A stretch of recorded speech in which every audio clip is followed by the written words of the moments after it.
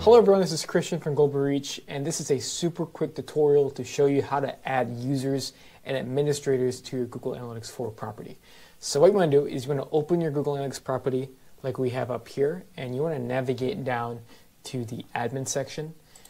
And once you're at the admin section, you'll see um, two options here. So what you have is you have account settings and you have property settings. So be pretty careful about who you're adding uh, to which section. So for the account settings, if you add someone to your account, they'll have access to all of your Google Analytics properties. But if you add someone to just one property, they'll only have access to that one property. So make sure you're adding uh, people accordingly.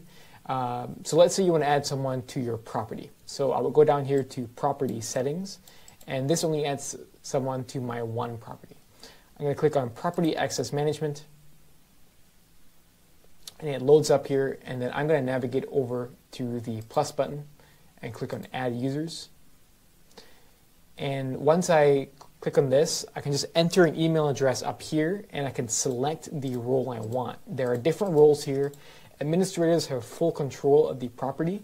Editors uh, have some control but not a ton of administrative permission. And then you have other ones like marketeer, analyst, and viewers and just having no role assigned. So just use the role that you think suits best uh, for the person you're adding and make sure you're adding people to the right category, whether it's account or property.